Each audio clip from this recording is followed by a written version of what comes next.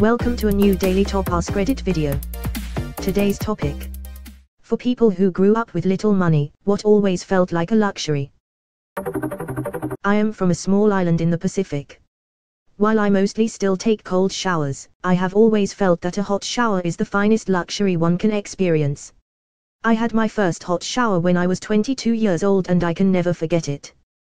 This is the kind of luxury I think people take for granted. I always avoided showers in the winter as a kid since most of the time they were cold showers and the temperature here was around 12 degrees Celsius degree during those times. For sure. I've never been without heated water, but I kind of annoy my wife in the winter when we shower because every time we go in I make a comment about how amazing it is to be able to just turn a knob and have hot water coming out of pipes. I mean having clean, running water at all is a miracle in and of itself, but taking a hot shower whenever I want is something not even the richest people of yesteryear could get. Going out for pizza was a big deal.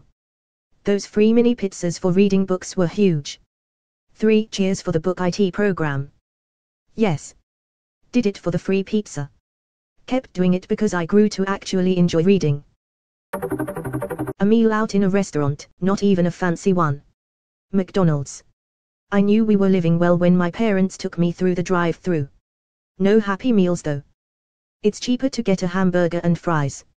You have toys at home. Happy meals were a birthday treat for me. Mom didn't get herself anything. Told me she wasn't hungry. I didn't understand until I was older.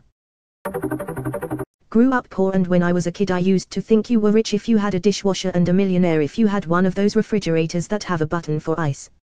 McDonald's was also a luxury, a couple times a year on our birthdays.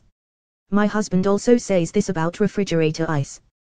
We moved to a house with a nice dispensing refrigerator and he said I feel rich now. My uncle renovated his kitchen recently and had a nice dispensing fridge put in. Because it's fancy and rich like on American TV. Summer camp, or basically any school trips that had to be paid for. At my school the kids who couldn't afford to go on trips that happened during school hours still had to come to the school, we just sat in a room and did extra work like it was detention. I was lucky. If you taught at the day camp your kid could go for free. That was just day camp though not sleepaway camp.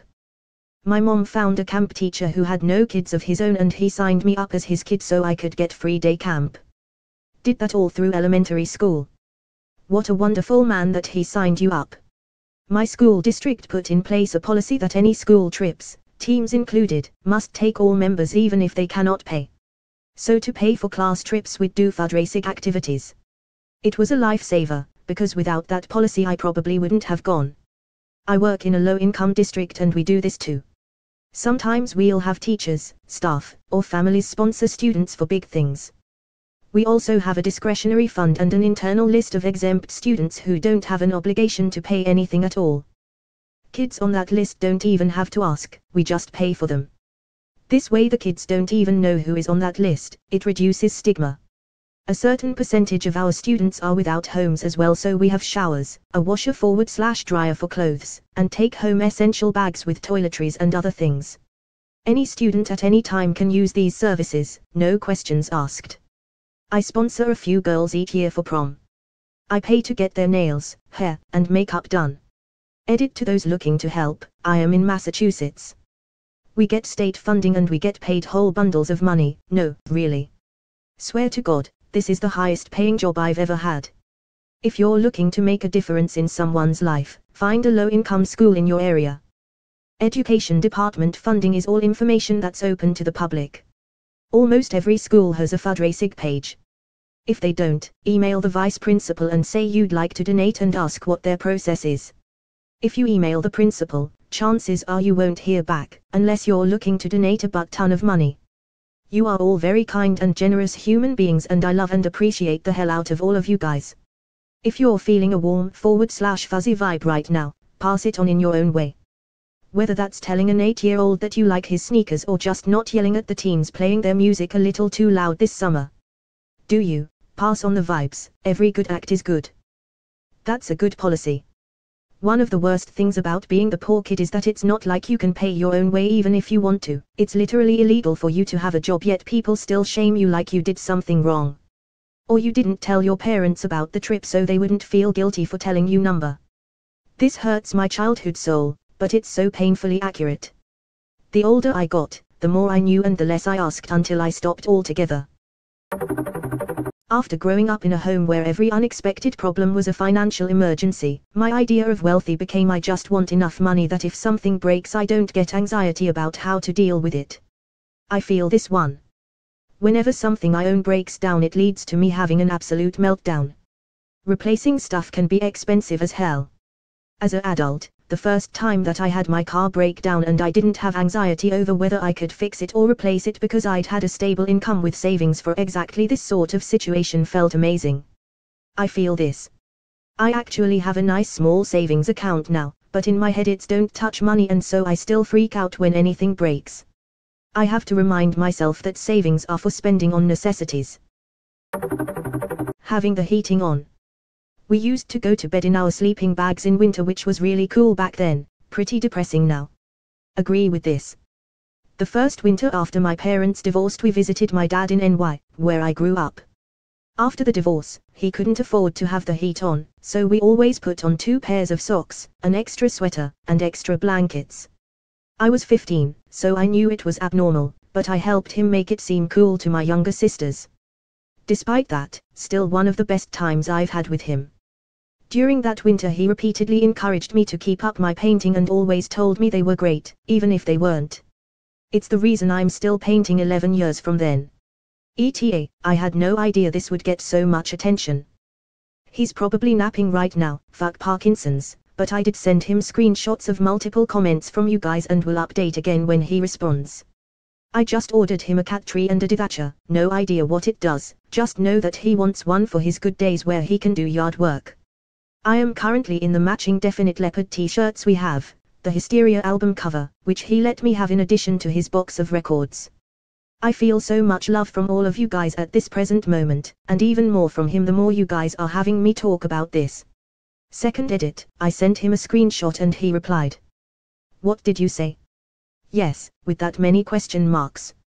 I said it didn't matter, but that a ton of people thought he was cool and a good dad. All he said back was you're killing me, Smalls and good to know. D. Oh absolutely, I don't think I could ever forget the feeling of when we'd wake up at 5 am freezing and trying to keep as much warmth under the blanket as possible. That inability to get out of bed because it was warm. I remember that one really well. It's kind of a comforting feeling in some ways now though. Getting new clothes at Christmas from relatives. I don't know if that is exactly a luxury or the kind of answer you are looking for, but we never had a lot of money when I was in middle school. I went an entire year wearing the same pants every day. The funny thing was my parents didn't even buy them for me. I got them for Christmas from my grandparents. All the kids used to give me so much shit for wearing the same pants every day. I always told them that I had five of the same pair which made me feel good inside and kind of made them ease off even though I know they didn't believe me. I remember I fell on the school bus one day and the jagged floor cut a hole right in the kneecap and the panic that went over me was just insane. It was one of the worst feelings of my whole life because I knew that I didn't have any other pants to wear and that now all of the kids in my school were going to know that I only had one pair. Needless to say I could not wait for the last month of school to end. When my paternal grandmother found out my brother, same mom, different dad, only had two pairs of pants that fit him for school that year she sent my mother money specifically to buy only him clothes.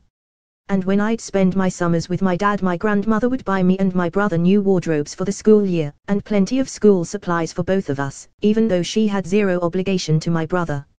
She refused to allow him to have no decent clothes for the school year, and she especially didn't want him to think he somehow deserved less than me just because his paternal family wouldn't do the same for him. She's been gone 15 years and he and I still talk about this. Edit, I can't get over how much love is pouring in over what my grandmother considered nothing more than doing the right thing. I thought I'd tell y'all another great story about my grandmother. So my grandmother hated my second stepfather, it's a long convoluted story but basically he was friends with my dad's brother growing up and while my parents were married he and my mom slept together. But he was really good to me so she tolerated him. Anyway, I was about 11 when my mom was pregnant with my youngest sibling. And I specifically remember my parents worrying about not being able to afford a new car seat. I came home from school one day and my mom was crying. Turned out to be happy tears because my grandmother, who hadn't been my mother's mother-in-law in over a decade and didn't have the nicest feelings towards her or my stepdad, had sent my mother a $500 check in a card with the stipulation that none of it was to be spent on my brother or I, only on the new baby. She was such a wonderful woman. I miss her all the time. That story made me smile and cry a bit. Ty for sharing it, it's nice hearing about such a good pure thing. Your grandmother was a rare and wonderful person. You are very lucky. I remember having two or three pairs of pants and having to strategically wear them so that people would think laundry day was Wednesday.